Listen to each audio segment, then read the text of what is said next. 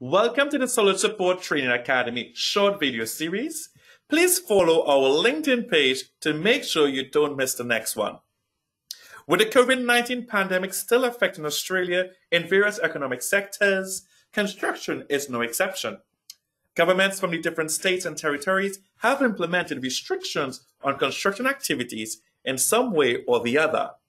As a result, we must communicate how these restrictions have affected the construction program. There are different methods of showing these impacts visually. Each method varies in applicability, complexity, and usefulness. This video is limited to showing you how the software can be harnessed to showing these impacts. Method 1. Calendars. The state or territory government has issued a general work stoppage order that shuts down construction work on all sites in specific local government areas. You can show the impact of this restriction using the calendars approach.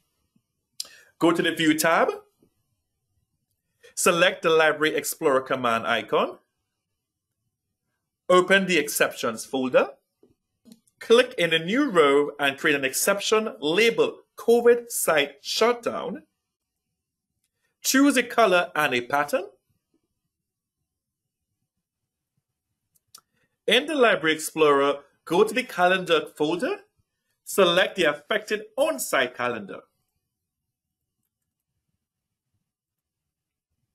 Select the days where the site was shut down because of the COVID restrictions.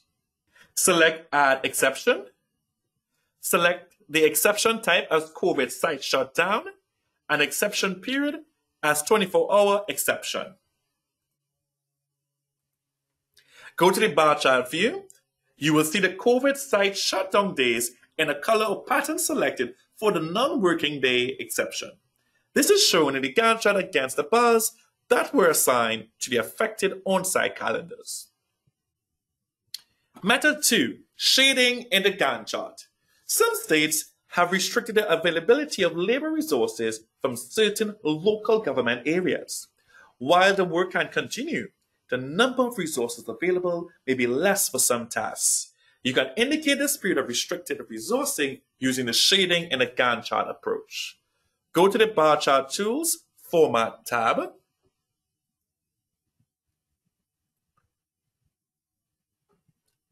select the shading command icon,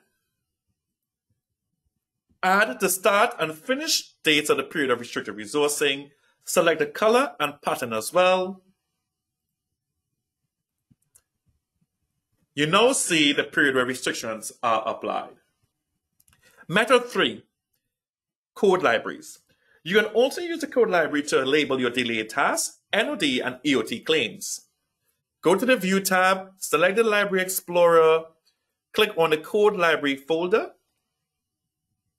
Right click in a blank spot and select New Code Library. Name the library as Delays. Click Open the folder. Right click in a blank space.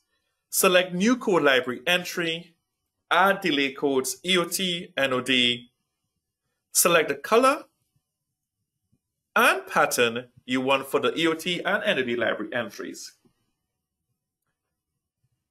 Go to the bar chart view, go to the project view, select the code libraries, select delays, right click,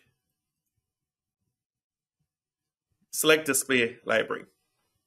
Drag the desired code library entry to the bar on the Gantt chart.